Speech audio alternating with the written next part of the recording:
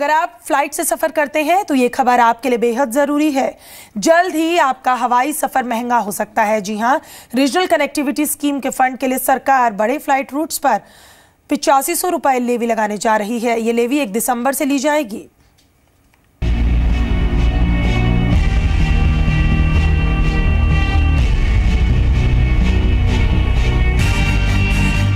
जल्द ही हवाई टिकट महँगी हो सकती है।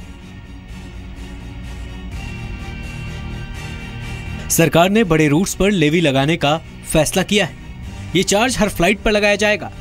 इनमें बड़े शहरों के बड़े रूट्स जैसे दिल्ली, मुंबई, चेन्नई, हैदराबाद, कोलकाता, बेंगलुरु शामिल होंगे। यानी अगर आप 1000 किलोमीटर तक के रूट्स पर सफ़र करते हैं तो सरकार हर फ़्लाइट पर पिछहत्तर सौ रुपए तक लेवी लेगी। वहीं 1000 से 1500 किलोमीटर तक के फ्लाइट्स रूट पर 8000 रुपए लेवी लगेगी। 1500 किलोमीटर से ज़्यादा दूरी वाले रूट्स पर पिचासी सौ रुपए लेवी वसूली जाएगी। यानी इससे घरेलू फ्लाइट्स में सफ़र भी महँगा हो जाएगा। इससे इकट्ठा होने वाला पैसा रीजनल कनेक्टिविटी फंड में डाला जाएगा, जिससे रियायती किराए वाली फ्लाइट्स के घाटे की भरपाई होगी।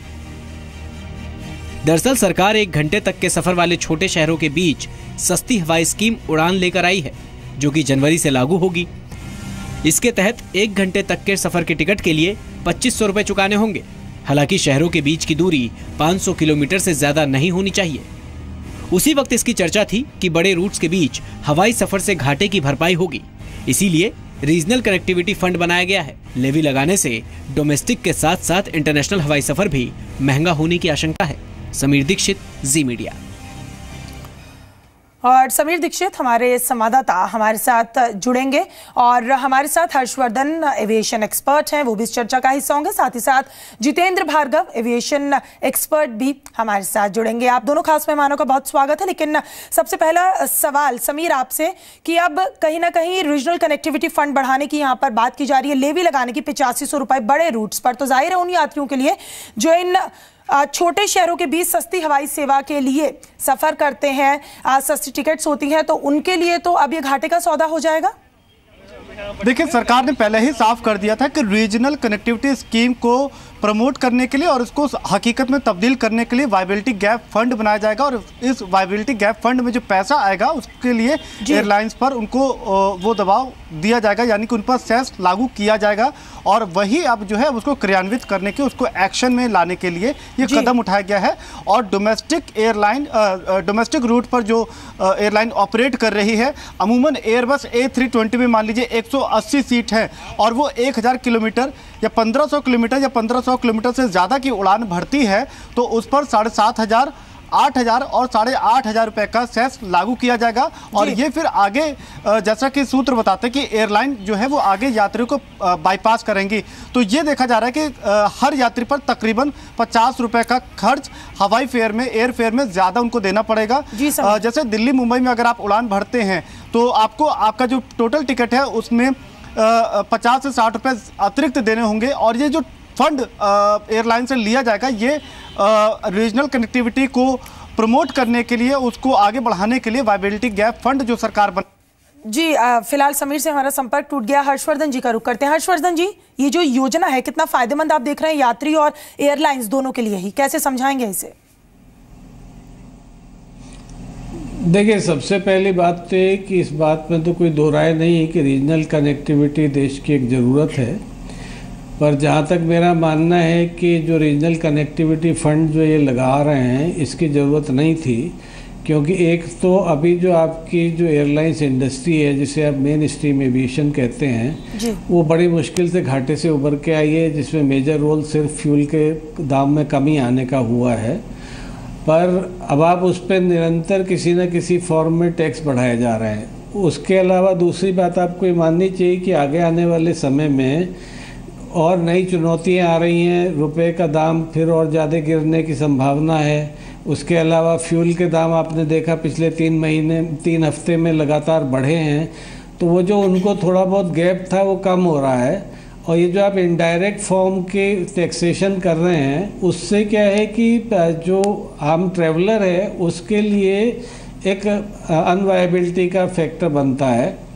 और तीसरा एक बहुत महत्वपूर्ण प्रश्न है कि सन उन्नासी से 1989 से सरकार पैसेंजर सर्विस फ़ीस के नाम पे पहले दस रुपये लेती थी अब सौ रुपये लेती है। जी। तो वो पैसा सिर्फ़ इसी रीजनल कनेक्टिविटी के नाम पे उस टाइम लिया गया था। जिसका कहीं उपयोग नहीं हो रहा है। और हर साल सरकार आज की डेट में करीब एक करोड़, एक हज़ार करोड़ रुपए उस फंड में कलेक्ट कर रही है। तो मेरा प्रश्न ये है कि वो पैसा कहाँ जा रहा है जो आप इसी नाम से ले रहे थे? तो आप उसको डाइवर्ट करिए।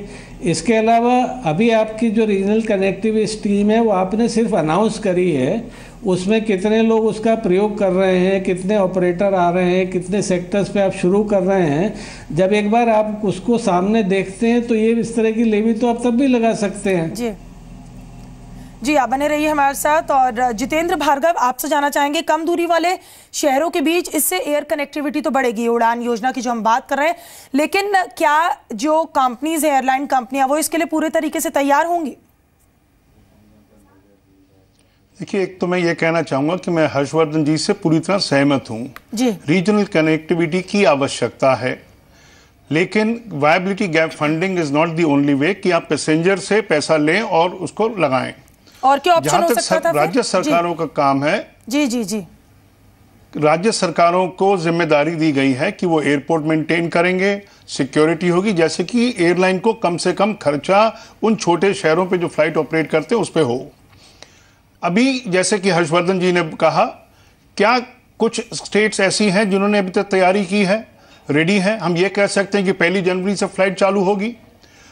जो राज्य मंत्री हैं उन्होंने पहले कुछ समय पहले ये कहा था कि हाँ दिल्ली से आगरा फ़्लाइट चालू हो जाएगी। ये तो कोई रीजनल कनेक्टिविटी नहीं है क्योंकि दिल्ली एक मुख्य शहर है। जी। अगर आप छोटे शहरों को कनेक्ट करना चाहते हैं जो कि रीजनल कनेक्टिविटी स्कीम का मुख्य ऑब्जेक्टिव था उसके लिए अभी पूरी तरह से काम नहीं हुई है। सरकार पहले पैसा जमा करना चाह रही है उसके बाद दिखाना चाहती है। क्या सरकार नहीं सोच सकती?